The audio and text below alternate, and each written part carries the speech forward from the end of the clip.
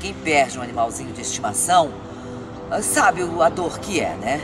E aí eu coloquei esse tronco, ele está aqui. O Paco está aqui, me acompanhando sempre.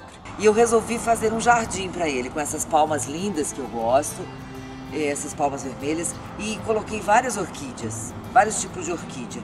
E aí, olha que beleza. Isso aqui aconteceu, eu plantei exatamente no dia que ele partiu, que foi no dia 4 de fevereiro. E aí veio o inverno e tal, e elas estão aqui, ó, todas já florindo, ó. E inclusive vários botões aqui para se abrirem.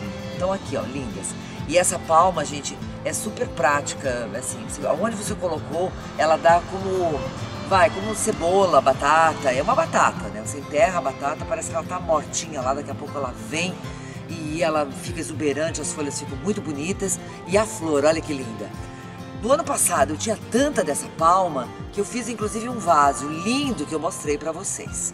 Então, qualquer cantinho que você tenha, você pode fazer isso. E o Paco tá aqui me acompanhando sempre.